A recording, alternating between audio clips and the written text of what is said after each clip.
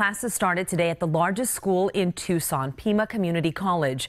With the return of nearly 45,000 students to six campuses, safety is top of mind. We compared statistics at PCC and the U of A. Between 2012 and 2014, only three forcible sexual offenses were reported across all of PCC's campuses, compared to 27 rapes at the U of A in 2014 alone. In 2014, 12 aggravated assaults reported at the U of A, only three at PCC between 2012 and 2014, and in 2014, 41 burglaries at the U of A, only eight at PCC's six main campuses.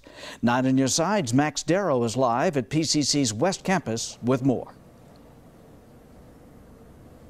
Well, Guy, here on campus, I was walking around for the first day, and I did see an increased police presence, just making sure students are safe. What you're also going to find on campus are these blue light systems. You'll see them in the parking lot and throughout campus as well. That being said, even with the lower crime statistics than the University of Arizona, I asked the question, do students feel safe here at PCC? Well, today on their first day of a new semester, here's what some of them had to say.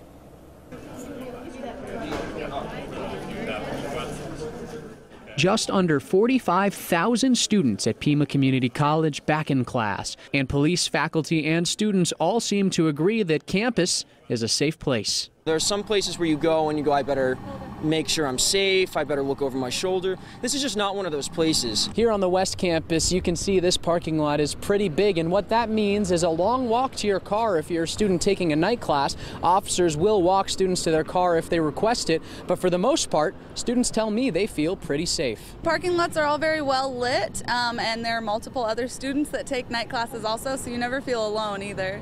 The college has an alert system that will text students and faculty if there's an unsafe situation on any of the campuses, but third year student Adrian Thompson says that rarely happens. Pima is really good about sending you notifications if there's anyone that is a threat to anyone. Well, I've been here six years and I think I've gotten two.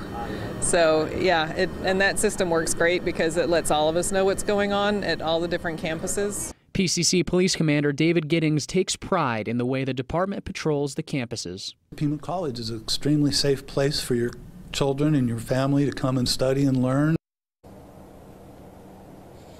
Now, we're not saying that PCC is crime-free. Neither of they, neither are they. In fact, PCC offers a self-defense class for women. One is coming up this weekend. The police and community service officers will walk people to their cars. If they do ask for an escort, that's just a reminder for students with the new start of the new year. Reporting from the West Campus, Max Darrow, KGUN 9 on your side.